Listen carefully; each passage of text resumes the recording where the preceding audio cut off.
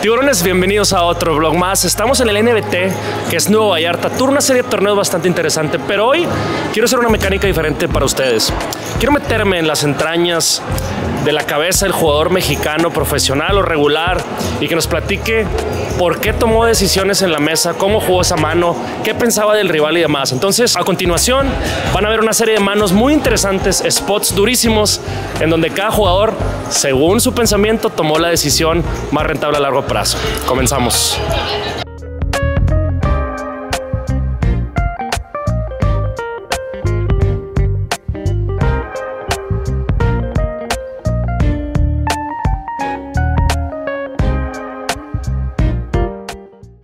Amigos de la pecera, estamos aquí con David, alias El Pato, jugador mexicano, residente de Canadá, ¿no, hermano? Por allá vives.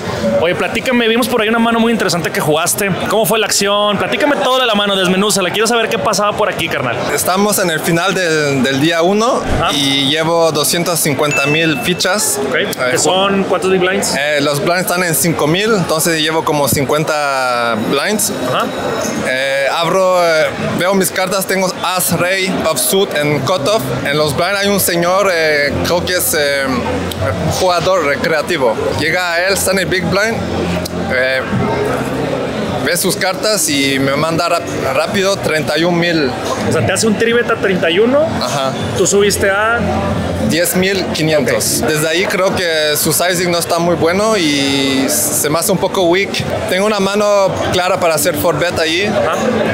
pero no lo quiero hacer muy fuerte porque lo voy a tirar siempre. Entonces decido meterle min click a 60. Y tu intención ahí era que te choveara, o que Ajá. solo pagara, ¿qué esperabas que hiciera el rival? Eh, las dos acciones me, me- eh, estaba listo. Si paga, pues juego post flop y si las mete insta call, Claro. Y- Estabas buscando el shop, ¿no? Yo, yo percibí tu min for bet como Sí. un 20, papá. Ajá, era para inducir acción. Yo creo Bien. que haciendo esa jugada él va a cometer muchos errores. Eh, de hecho, la, la pensó como 10 minutos. eh, le, le pidieron time. Y al último 10 segundos me decide mandar all-in con As 9 suited. Dice Olin y tú, chupándote los bigotes. Yo- ¿Y, y después qué pasó, carnal? Snap call y sale As 9, 5, Ay. brick, brick. Y pierdo un pot como para casi chip lead del día. Era un pot de casi 400 mil fichas. Y ya me quedé con 80. Y bueno, me quedé, terminé el día con 65. Madres. Pues bueno, 65 mil fichas para el día 2 son cerca de 9, 10 big blinds. Eh, pa' chip and a chair. Sí. El, el sueño está intacto. ¿Recuerdas esa mano con la que llegué? Sí, claro, Híjole, claro. híjole. Platícame un poquito la acción. ¿Qué pensaste? Quiero meterme aquí, carnal, en tu Vale, cabecita. vale. Cuéntamela. Eh, Big blinds, posición, sí, todo. Quiero saber todo. eh, estamos en. La mesa está corta, solo vemos cinco. Acá, ah, eh, justo una mano anterior ah, saco a alguien que fue in de button a Big Blind estándar. Ok. Cinco ochos. Estoy contando mis fichas. eh, tengo más de 50 blind, millón y pico. Y J9 Suret en cutoff. Open Ray, Always. 2X. 2X. Eh, la mesa está un poco cansada de mí, entonces ya sé que soy muy vulnerable a los 3 bet. Button fall, Small Blind empieza a contar las fichas y hace 3 bet a 165 Ok. en Blind 25, o sea, 3, eh, a mi rey a 3.1, 3.2, Ok. 6 punto algo de blinds. Eh, veo que está muy deep, vale la pena hacer call para jugar un pote grande.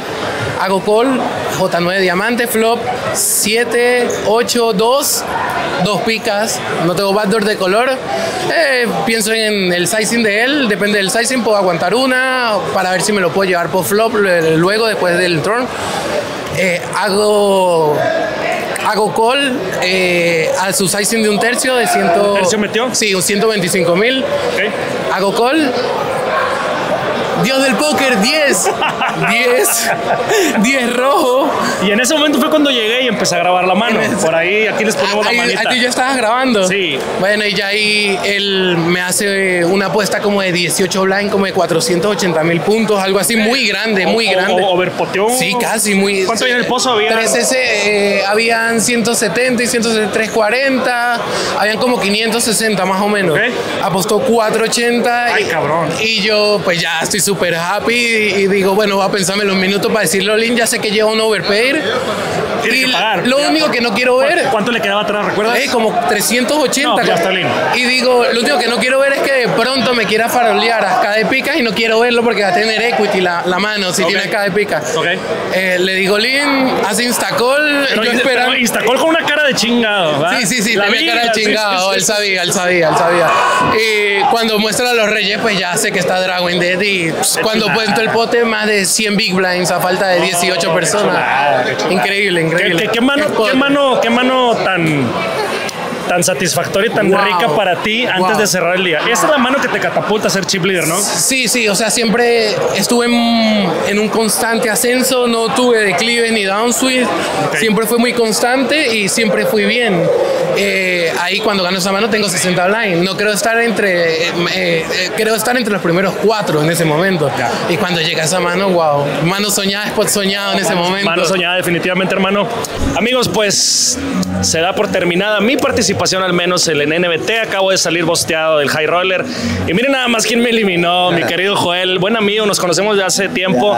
Y ahí en una guerra de ciegas, carnal, este, pues tenés la mejor mano, güey, ¿no? Sí, par de nueves ahí, este Dice, ¿qué fue? ¿4X? Sí, sí. 4X. Agresivito, agresivito. que puede ser robo, puede ser valor, ahí como que le mixeas bien. ¿no? Creo que te puede hacer con manos de bluff lo mismo. Entonces, tu ahí con Ace y Suret, creo que lo veo muy estándar. Sí. Pues ya, pegaste par flush draw y. Güey, qué flow, qué flow, amigos. ¿eh? 6 rey, mierda, dos tréboles. No, yo a 6 de tréboles. A 6 y tréboles. Creo que vamos, creo que vamos flipeando ahí, güey. O si no es que te voy ganando por 1 o 2%. ¿ah? Y bueno, amigos, aún siendo el favorito en este juego del diablo no pegamos y mi querido Joel se está montadísimo, carnal. Yo creo que viendo el field y tus fichas, eres ultra favorito para llegar a mesa final al menos. Sí, mesa final yo creo que sí, pero ya sabes, este pedo y con mi juego agro ahí, pues ya sabes, siempre se escupe aquí. Todo puede pasar, pero bueno. pero bueno, el mejor de los éxitos y cuídame, cuídame, bien esas fichitas, carnal. Suerte a todos. Bernardo Crespo, hay una mano en el día 2 del main event que juegas contra Rodrigo Sobi que me pareció muy interesante. Quisiera que nos platiques tu percepción del jugador, eh, la instancia del torneo, tus big blinds y por qué tomaste esa línea de defender esa mano en, big blind. Eh, me acuerdo bien de la mano, fue multiway la mano. Eh, abre un jugador del cual no recuerdo su nombre, que tiene como 45 blinds en hijack o lowjack, no estoy seguro. hace un par de días, pues. Eh, Suobi defiende en el cutoff con un flat call. Y pues lo conozco, es amigo y sé que es muy luz. Eh, estaba el chip leader, nos estábamos acercando eh, a la burbuja, no tanto todavía, pero algo. 20, 30 jugadores por ahí. Eh, o creo que era post burbuja, porque me acuerdo, lo que me acuerdo es que el ICM no, no importaba mucho. Yo creo que era post burbuja porque sí, quedamos cuarenta y tantos, tienes razón. Sí, recién in the money, los pay jumps no son tan importantes, entonces el, impacto del ICM sobre tu, sí, pues tu risk premium, tu stack, no, no es tanto, entonces este, pues se parece más a jugar como chip EV, fichas o cash game, pues. Eh, por lo tanto, 3-2 Sured ahí, multiway es un, es un buen defend. Eh, cuando estás multiway no defiendes igual que heads up. Hay partes que, de tu rango que van a ser eh, beneficiadas de que te den mejores odds. Y esta es una de ellas, ¿no? Y esta es una de ellas, exacto. Y hay manos que al contrario se perjudican de, de estar multiway, ¿no? Que son como jacks malos, dieces malos, reyes malos, ¿no? Porque el, flat call tiene mucho Broadway, ¿no? Entonces el, el 3-2 no choca las odds son buenas y pues creo que a pesar de estar fuera de posición eh, tengo algo de edge post flop para jugar la mano, entonces creo que es fácil el call ahí. Eh, el flop es 10-5 de diamas, 4 de espadas, según recuerdo, algo similar a eso. Mm, checo, nunca voy a estar haciendo un, un dunk bed ahí multiway. Eh, checa el opener y Rodrigo Sobi decide apostar cerca de medio bote. Yo tengo 35 big blinds, olvidé decir eso en la mano. Eh, y, Rodrigo nos cubre a los dos, tiene 50 y tantas blinds o algo así. Eh, entonces, pues creo que es un buen sizing para meter presión ahí de parte de, de él. Multiway como un exploit, en teoría debería de, ir chico, pero creo que está bien que apueste medio bote. tengo odds, tengo no me acuerdo si backdoor flush draw, creo que no. Solo, solo voy a la escalera, pero tengo manera de representar en el turno el color, porque mi rango tiene más este, suited combos que el suyo. Y pues me voy por el call, se me hace fácil, nunca bloquear ahí check raise, multiway sobre todo. Eh, foldea el opener y en el turn completo la escalera, pero se completa el flush draw también, es un 6 de diamantes. Eh, y pues en ese punto creo que mi rango, heads up contra el rango de Rodrigo, que van a ser muchos eh, Broadways, eh, mucho el 10, el top pair, y a lo mejor 9, 8, 7, ¿no? Em, si estas manos que él tiene tienen un diamante, voy a a regalarle cartas mucho si checo, ¿no? Checo, checa y pierdo mucha, mucha equity y ventaja, ¿no? Al mismo tiempo, solo el 10 también creo que se va a quedar de, dar check back muchas veces porque yo, como digo, pues completo muchos flush draws en ese turn, ¿no? Entonces, este, me voy por un quinto del bote un quinto, mandas un quinto. Un quinto del bote, sí. Que lo haría con, con una combinación de todo mi rango. O sea, no todo mi rango todo el tiempo, pero puedes hacerlo como Sí, con tus dieces también, supongo, para protegerte de Broadway con un diamante. Lo puedes hacer pues con tus flushes para empezar a, cobrar eh, tu valor pues a manos peores que van a pagarte y más cuando le das esas sots. Eh, Rodrigo piensa y solo me paga. Cuando paga te sientes arribísima, supongo, ¿no? o sea, eh, que siempre. La, la, mayoría de las veces, supongo. Sí, la mayoría de las veces, sí. Sobre todo porque siento que si, digo, esto ya es como un exploit de póker en vivo, siento que si se tarda mucho, no. O sea, podría tener como más este, la nuez, perdón. Y, y, su, su, call fue rápido. O sea, siento que si me va a jugar lento ahí con flushes fuertes, hubiera tomado más tiempo. Porque quiere stackearme, ¿no? Si la tiene, me quiere quitar las fichas. Entonces, en un bote, pues in the money, en el torneo, eh, donde ya en el turn ya es grande, pues quisieras hacer un buen plan para stackear a tu rival cuando tienes la nuez, ¿no? El hecho de que me pague rápido me hace ponerlo en el 10 muchísimo y también en Broadways con un diamante, ¿no? De que estaba bloqueando As Jack, Rey Jack, Queen Jack eh, con un solo diama y en el turn pues tiene flush ahora. Y ¿No crees que todo ese rango de manos que mencionaste, a la percepción que yo tengo también de Rodrigo, hubiera hecho un trivet preflop? Puede ser, un mix de, de trivet y de call, eh, pero algo importante que también es como pues un exploit de flow game, le decimos, ¿no? De por las manos que acaban de pasar recientemente, cómo sientes la mesa y demás, eso es como el flow game. Eh, había hecho demasiado tribet, Rodrigo. Llevaba como, no sé, muchísimos tribets, ¿no? 15 en, 40 manos o algo así, o 10 en 40 manos, algo así. Entonces creo que eh, él va a saber que su tribet va a ser percibido más débil porque ya llevaba varios y por lo tanto sí puede haber pagado con, con estos Broadways, pues. Eh, y bueno, el River es un 9, que no es diamante, o sea, no, no da cuarta color, se queda el flush draw completo del turn y es un 9, ¿no? Y en este spot eh, yo decido checar porque considero que no voy a conseguir muchas veces call de peor, sobre todo cuando creo que su rango es aire con un diamante o el 10, ¿no? No creo que me va a pagar el 10 una apuesta siendo multiway preflop, bien, hubo turning flop. Entonces ahí fue un check para atrapar literal. Sí, exacto. ¿Vas a pagar cualquier sizing? ¿Vas a pagar all-in? Contra Rodrigo yo creo que sí, porque el, el, bote queda uno a uno en el river. O sea, tenemos atrás lo que el bote tiene. Eh, y sí, creo que si tiene como aire con, con diamante, ya sea con un as o un rey sobre todo, puede bloquearme all-in muy fácil. Siento que no me va a pagar con el par de 10 nada más. Eh, tendré que pagarme dobles o algo mejor, que no, no tiene tanto en su rango por su call pre-flop. Eh, y que me puede bloquear estas manos, ¿no? Aire con un diamante. Entonces sí, fue un check para pagar, la verdad. Sí. Y sorprendentemente Rodrigo se tarda una eternidad y hace check con top 2, güey. Con top 2. Hay que reconocer Gran check, güey. Gran check. Yo no, jamás hubiera esperado algo así de él. Honestamente, güey.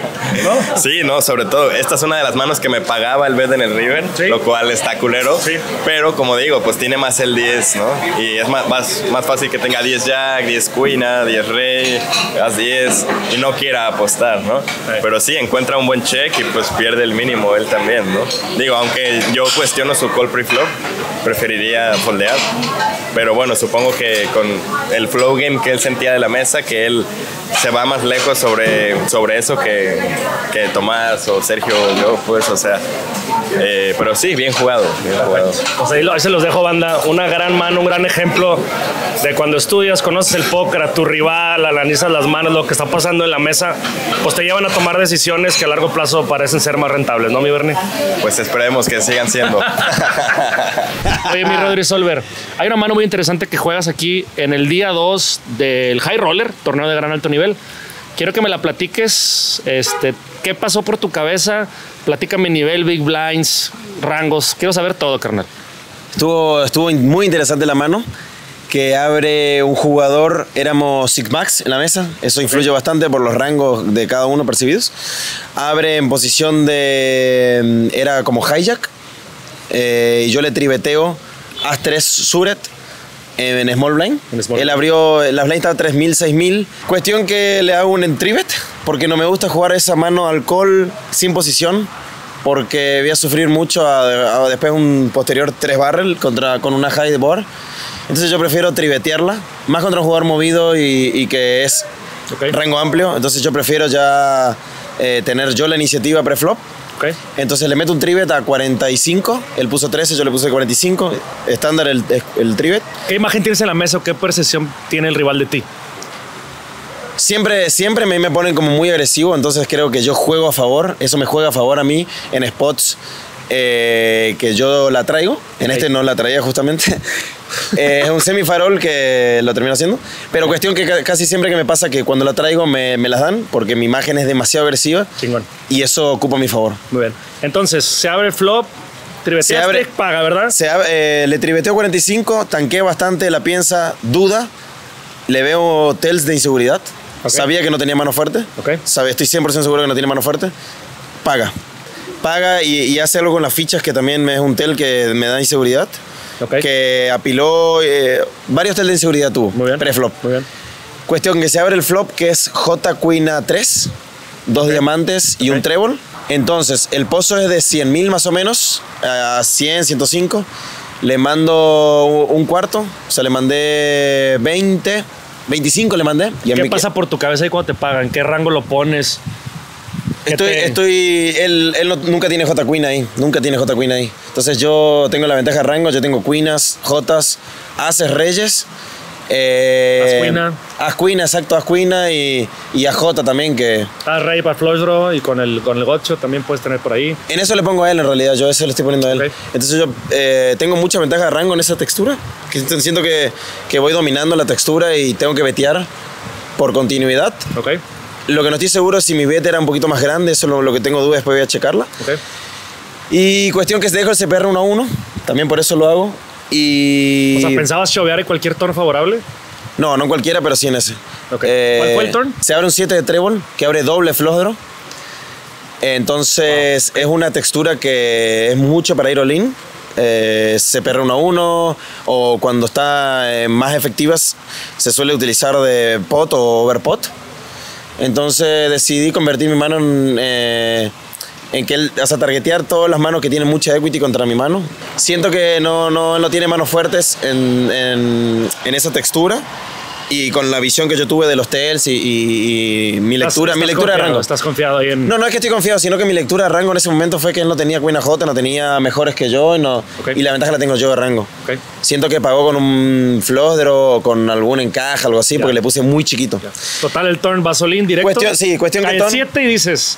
No, cae el doble flow, no, el 7 no, el 7 no es tanto, cae el doble flosdro, que eso abre muchos proyectos que, que si me pagan, le voy cruceando y, y- y son buenos. O sea, si tiene una raíz de trébol, también se va a querer, me va a querer pagar, porque tiene dos over, flosdro, encaje y. Entonces. Hay manos peores a las que le sacas valor como esa que, que comentas. Sí, ¿no? sí, sí, son muy pocas, son muy pocas y también le pongo a sufrir manos que me van cruceando como AJ, como J Rey, como J10, Suret, Dieces, nueves. Queen, eh, sí, sí, sí. Bueno, Queen no, eso Queen no. forbetean preflop, pero. Sí, sí, sí, hay, hay muchas manos, hay muchas manos premium que las quito porque me forbetean all-in en esas efectivas. Entonces decido irlo all-in porque siento que ya él no puede pagar con manos que debería foldear. Le pide, eh, pasa el tiempo, ya cuando no hace snapfall siento que ya voy arriba, voy arriba en mi 3, ya estoy ya completamente seguro. Y el rival decide pagar, cuando le, le piden tiempo, viene el, el floor, le dan 30 segundos y decide pagar. Voy all in y me termina pagando As 4 de trébol, que tiene flush draw, que se le abrió en el turn y va por el 4. Porque va libre. Ya. O sea, va solo por el 4 porque O el sea, as, el as me daría doble. un qué, güey, un porcentaje. Muy bajo, muy bajo. Traer como el Un 20 15, 15, no, 20, más, ¿no? 20, 20, Trae 20. 18 el flush draw más del 4. Sí, son tres 25, outs. 24, Sí, por yo, ahí anda, por ahí yo calculo que entre 23 y 25 debe tener. Pero voy cruzando, o sea, ya cuando me paga y me baja eso, voy cruzando y ya. Después, si sale el color, sale el 4, f- buena mano, pero mi No, movimiento mejor fue. buena mano, te irías a, a hacer rabietas al baño, que te sí, conozco, sí. cabrón. Sí, sí, sí, sí. Sí, no, pero, pero digo, mi movimiento cuando él me baja esa mano, digo, wow, qué, qué interesante. No creo que más de cinco personas hagan eso línea ahí. Que hagan esos movimientos. Yo tampoco lo creo. No creo, no creo, muy pocos. Lo Entonces, curché. Y, la, y nada, y la siguiente le vuelvo a ganar, le hago check call y check al turn con dobles y no, lo, lo volví loco y lo termino sacando. Oye, total, te paga, no cae el flush draw y festejas como si Messi hubiera ganado el mundial otra vez. Es que sentí, sentí ¿sabes lo que sentí de carajo, acá estoy yo, papá. Eh, ¿Creen que no voy a blufear en un high roller? Tengo los huevos hasta el piso, cabrón. Hasta el piso, los tengo que recoger del piso y llevármelos conmigo, porque tengo unos huevos así grandes, papá. Como papo, igual. bien, bien, bien, bien. Así que. La verdad, la verdad, Por eso fue qué mi festejo. mano, qué mano, güey. Acá Trevi la grabó y me la platicó y dije, esa mano tiene que ser una pecera, carnal. Entonces, gracias por tu tiempo, por platicarnos qué pensaste y cómo procesaste la información y cómo llegaste a esa conclusión, güey, porque tenemos gente que está aprendiendo a jugar póker y esta mano es un ejemplo claro de que si estudias tanto rangos como teoría y como tells, encuentras ahí esa vertiente rasca, de... termina rascando sí. Bien, güey, buena mano, carnal. Dale. Soubi. Gracias, papi. Rodrigo Solver. Rodrigo Solver.